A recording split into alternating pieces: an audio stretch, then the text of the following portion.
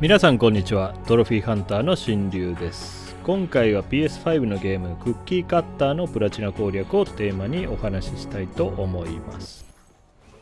今回も自動で取れるトロフィーとかストーリー関係のものは無視します。でははじめにこのゲームは取り返しのつかないものはなく難易度関連のトロフィーもありません。なので難易度は低めです。トロコンには15から20時間かかり1周で全て習得可能。エンディング後も自由に探索できるので全てのアビリティを持ってからの方が効率がいいかもしれません。それとこのゲームのマップもかなりユーザーフレンドリーなので大体のものは見せてくれます。ではどう遊べばいいのか。初めにも言いましたがこのゲームのいいところは取り返しがつかないものはないのではっきり言って自由に遊べばいいです。戦闘関連トロフィーも自然に取れるはずですし1個だけなので別に気にしなくてもいいです。先に1万ビット貯めてトロフィーを早めにゲットした方がいいかもしれません。どうせ武器は全て最大強化しないといけないのでそのトロフィーを先に取っていたら気にしないでどんどんお金が使えます。スキルは最大強化しなくてもいいです。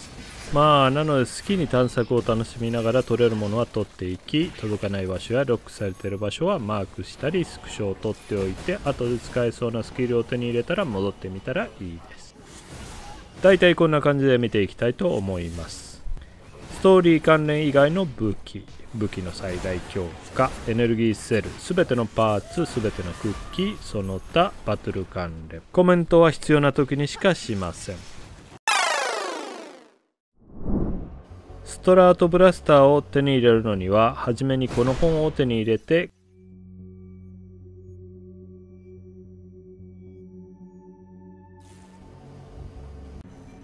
ここにいる NPC に渡せばもらえます。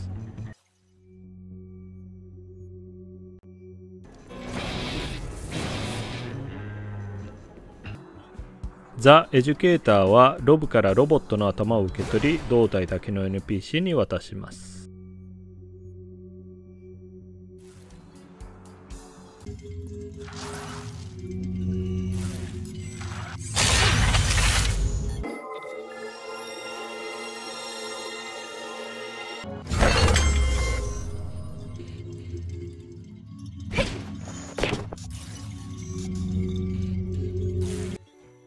ニトロバニーはまずロボを信用して隠しダイナの方へ移動してもらいます。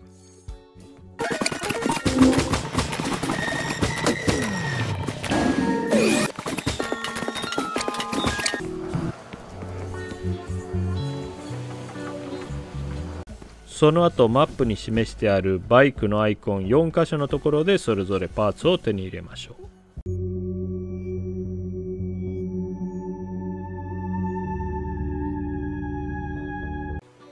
全て揃ったらダイナに移動したロブに渡して最後の武器を手に入れます。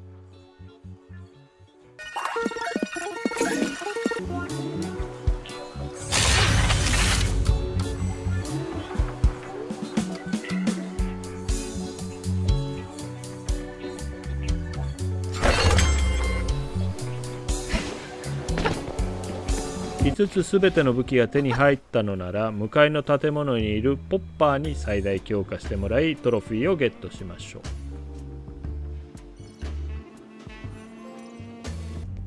22個のエネルギーセルと17個のパーツの場所は違う動画を作りましたのでぜひそちらを参考にしてください。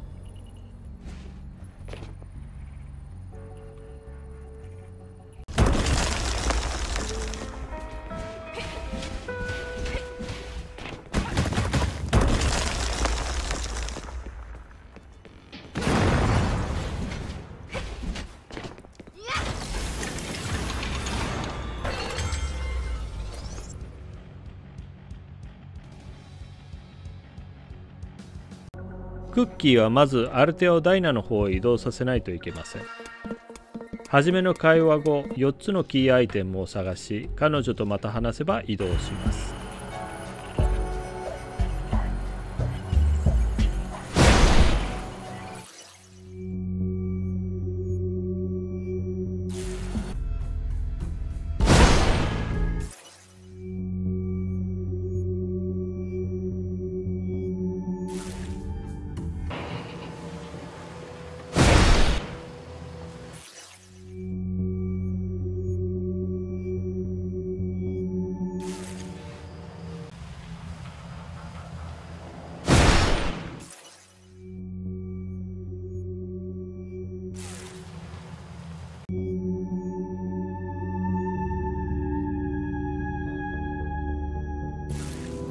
その後ダイナの方でその4つのキーアイテムとクッキーを交換します。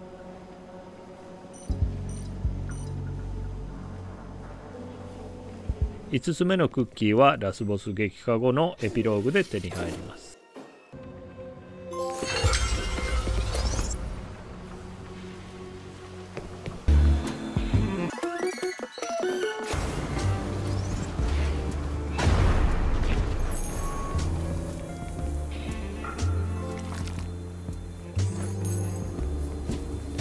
渋谷関連のトロフィーは2つあります。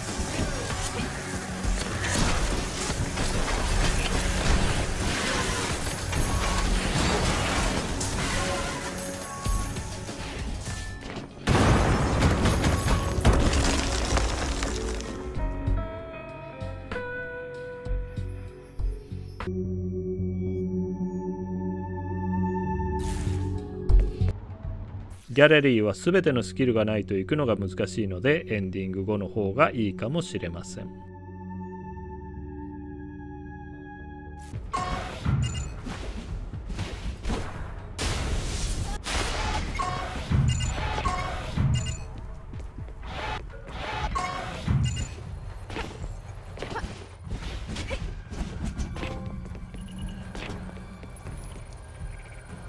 最初にフォビートックスの素材集めのクエストをクリアしましょう。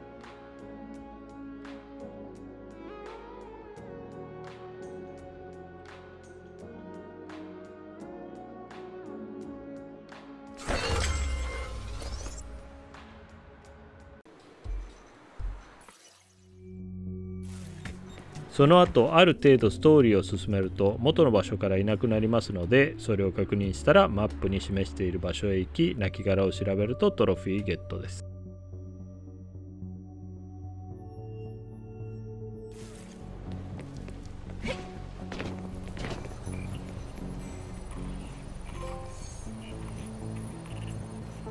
1万ビットは累計ではないので初めから使わずに貯めていきましょう。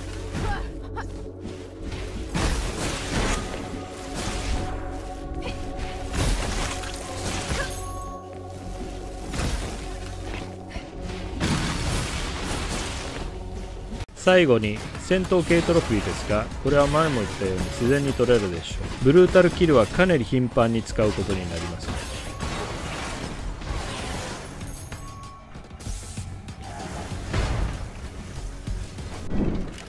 以上です。この動画はトロフィーハントに役立つことを願っております。ご視聴ありがとうございました。